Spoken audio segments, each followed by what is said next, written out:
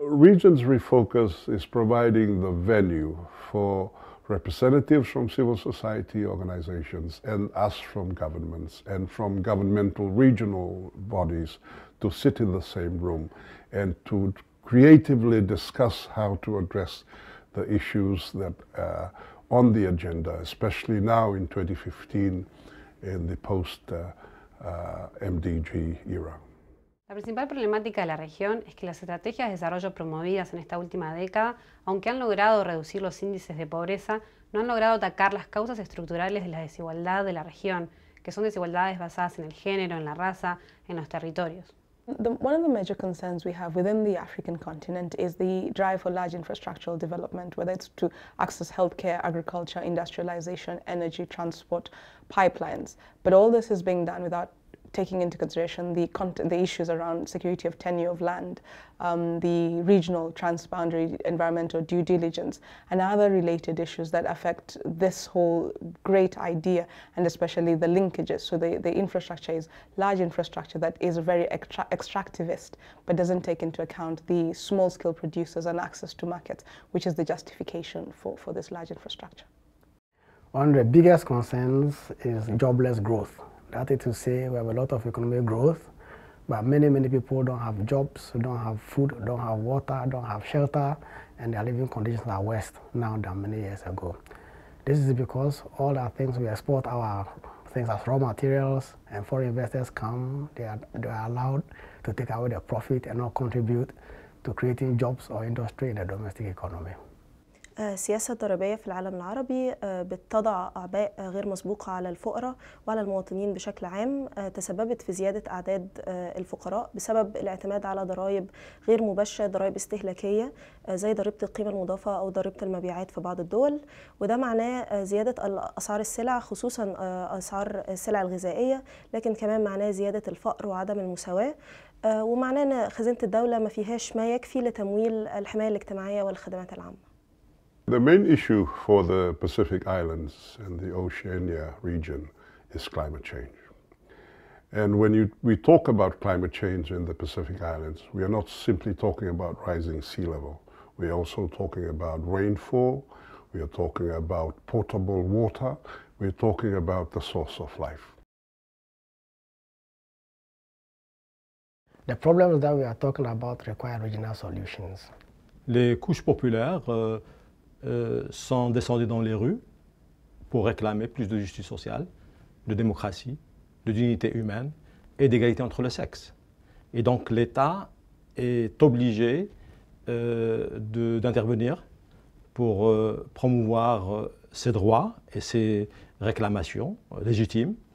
Et pour cela, il faut que l'État aussi joue un rôle important en matière de développement économique et social, pour industrialiser les pays, pour assurer des emplois décents et bien rémunérés, pour assurer le droit à l'alimentation pour tous et pour promouvoir l'égalité entre hommes et femmes. Los estados de la región tienen que efectivamente orientar sus políticas de desarrollo hacia la sostenibilidad de la vida.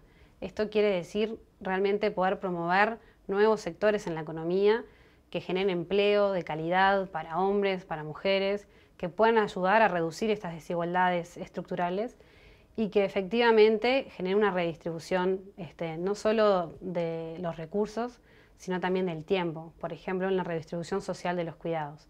العدالة الضريبية ممكن تحقيقها بسياسة عامة على مستوى الدول العربية أزمة تحقيق العدالة الضريبية هو إنه ده معناه إن الدول لازم تبقى شجاعة بما فيه الكفاية إن هي تضع معايير واضحة جدا للمستثمرين هم هيدفعوا الضرائب بتاعتهم إزاي.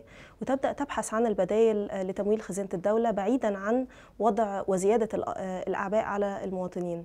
أهم المشاكل إنه ده بيضع يعني كتير جدا من الضغوط على الدول فده معناه إن هو لازم يبقى حل يجي على المستوى الإقليمي كل الدول العربية تتشارك فيه وعلى المستوى الدولي كمان. Many African governments from the national to the continental level are taking policies that would make foreign investors contribute to the development of domestic industries and domestic farms.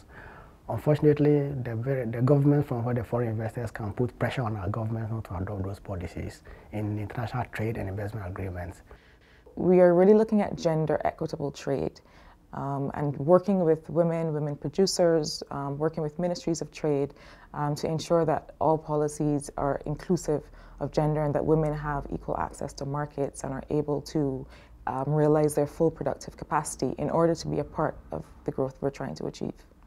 We are forced into a bind where we need to reallocate our, our recurrent uh, finances or dependent on overseas of more assistance from overseas. And this is why we look at the Green Climate Fund, for example, as the, as the opportunity to, to, to, to meet the demands of climate change.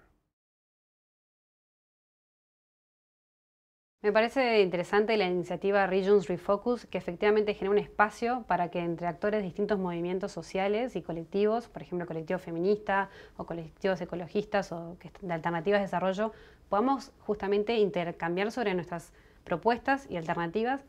Regions Refocus make it possible for us to come together and learn from the experience of other regions and how to apply their lessons.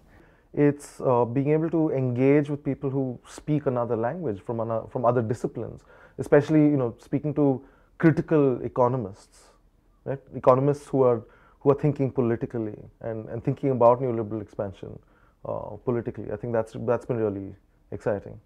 A lot of times when you're in the struggle, in the fight, in your own little silos, you feel like you're alone. But when you start to network, especially as it relates to cross regions, you begin to realize that you see similarities in the issues and you would see as a structural problem or a structural issue, and so you could address it that way rather than in isolation in your own silo.